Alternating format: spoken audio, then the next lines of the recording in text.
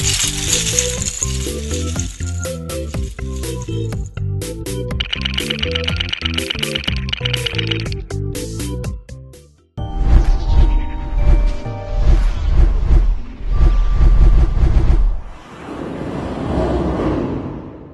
is a mock from Halo, and uh, right here we have hunters chasing a warthog, which is trying to get back to the base to uh, heal the wounded.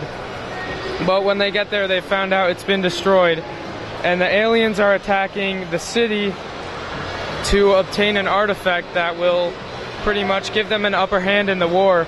And so the humans and the Spartans and the UNSC, they're all trying to stop the aliens from taking this building and taking over the planet essentially. So we've got three main sections the beach, the jungle, and the city. So, how do you kind of conceptualize the sections? Like, how do you put it together? Do you sketch it out? Is there a lot of planning involved beforehand? Well, there's definitely a lot of planning, and we used LDD a lot to like get a standard for the beach section and the jungle and the road. And then I found people who said they'd be able to do it, and then I'd give them the LDD file, and they'd use that to make one for themselves. So that's And- an interesting collaboration tool. Then use LDD to so you can all be on the same page of what you're building. Right, yeah.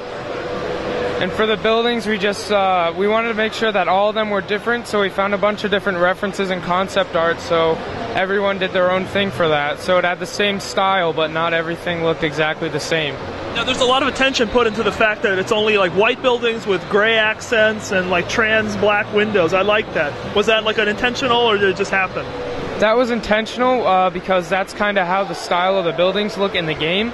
So we kind of based it off of that. So we all had the same style for the buildings, so they'd blend together well. Very nice. I appreciate that. Now, how does this break down for transportation? Is it all on large base plates, or how does that work?